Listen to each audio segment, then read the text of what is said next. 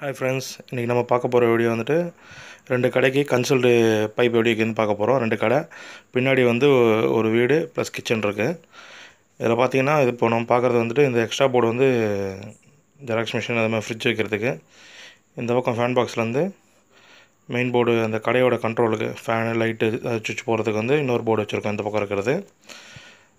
இதே மாதிரி தான் இன்னொரு கடையும் வச்சுருக்கு. இது பார்த்தீங்கன்னா இது மெயின் போர்டு கடையோட மெயின் போர்டு வைக்கிறதுக்கான பைப்ஸு இந்த பக்கம் மேலே ரூஃபில் வச்சுருக்கிறது வந்து சர்வீஸ் பைப்பு இது வந்து வீட்டோட மெயின் போர்டு இறங்கிறதுக்கோசம் போர்ட்டிகோவில் நம்ம பைப் இறக்கி வச்சுருக்கோம்.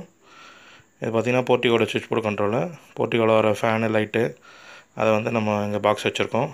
உள்ளே பார்த்தீங்கன்னா கிச்சனு கிச்சனோட போர்டு கண்ட்ரோல் அந்த லாஸ்ட்டில் இருக்குது அப்படியே இந்த பக்கம் வந்து ரூம் கண்ட்ரோலு கொஞ்சம் இருட்டாக இருக்கனால தெரியல.